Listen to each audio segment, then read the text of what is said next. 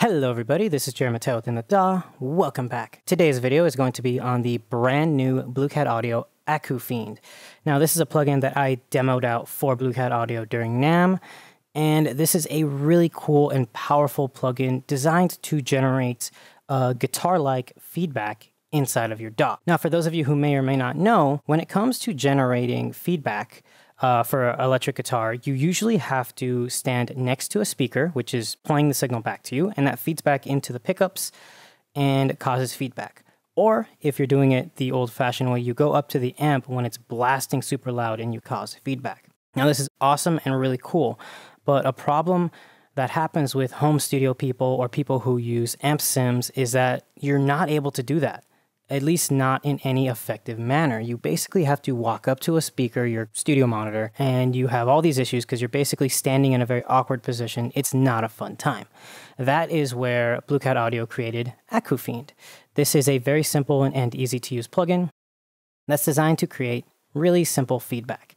It essentially generates a sine wave uh, that is triggered by the threshold and its pitch detection section that will follow the root note of what you play. You have a dry and wet control for the output, and dry is just your original dry signal, while wet is the feedback. The harmonics section is choosing what octaves are you going to generate. So you have subharmonics. Notice how that was a subharmonic. It might even have clipped. You have first, second, third, fourth, and fifth order harmonics. And I'm going to be honest with you right now, the best harmonic to use when you want to have a more realistic tone let me just set this to 40%, is the second order harmonics. It's going to sound the most realistic. And let me show you what I mean. That sounded like feedback from a real amp, right? And if I bypass this, you can hear what it sounds like without it.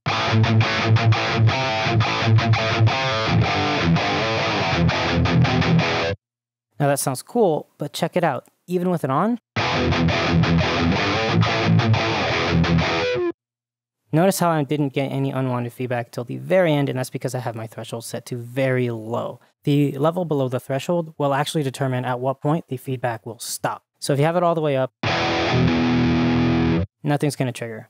All the way down, everything's to trigger. Somewhere in the middle is where you want to be. I like to stick between 75-ish or 71. And then you have your time section, which controls how fast will it go into feedback and how fast will it go out of feedback. Setting them both to zero is going to be as fast as possible. And you're going to get a really crazy sound, while setting it to 100% is going to be very long and slow.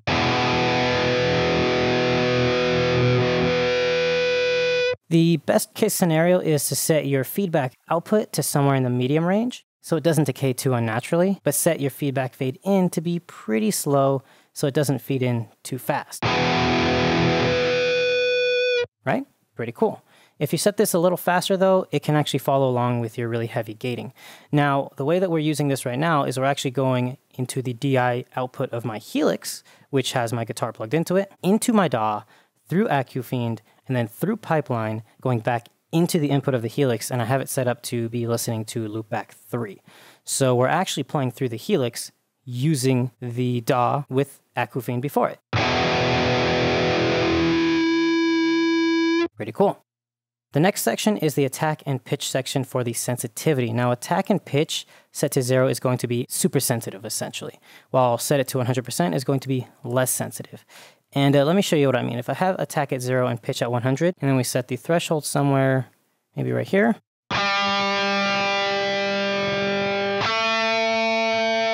Notice how nothing happens. If I set the pitch to somewhere like 50,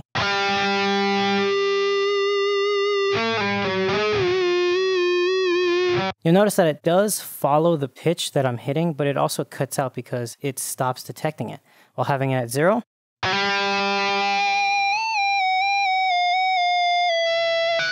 pretty much all the notes right away. And the attack speed at zero is going to be as fast as possible.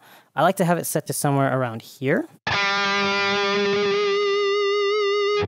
Because it kind of gives it a more natural feel, right? Pretty cool. Moving on, we have the range section, and this is essentially going to control the range of where the harmonics can be generated. Setting this to all the way down is going to be the full spectrum, meaning that you're going to have super low harmonics that can be generated and super high harmonics that can be generated. Now that sounds really cool, but that also is going to cause some issues later on down the line because if you play really high notes on your guitar, a higher octave harmonic is going to sound really bad.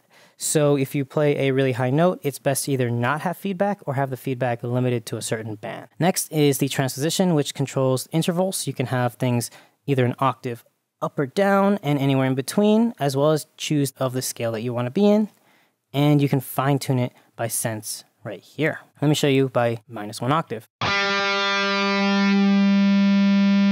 And then up one octave. Pretty cool, right? Keep in mind that all of this can be MIDI mapped and can be controlled. If I get my uh, Helix and I add a foot controller, I can technically use that to trigger the bypass and the other controls. Pretty cool, pretty simple. Now let me show you some basics on how this works. Let's say I bypass this and I just play something.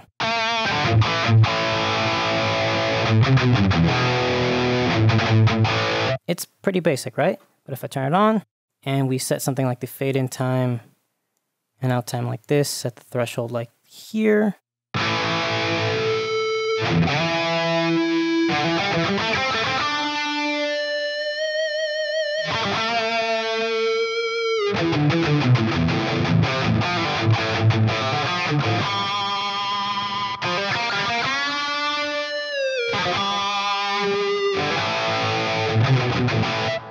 And keep in mind that this will change depending on the pickups that you have, the guitar that you have. The output of the pickups really is going to have a huge impact. I have passive pickups, so you're going to notice that on really low notes, it's not really being picked up, especially because uh, it's going to be gated really hard by the Helix's uh, gate that I'm using turn the gate off, I'm going to have a lot of noise, so I don't want to do that. Besides that, that's pretty much it. It's a really cool and simple plugin, and I highly recommend checking it out. Anyway, this is Jeremy Mateo within the DAW. I will have links in the description below, and I will see you guys next time. Bye.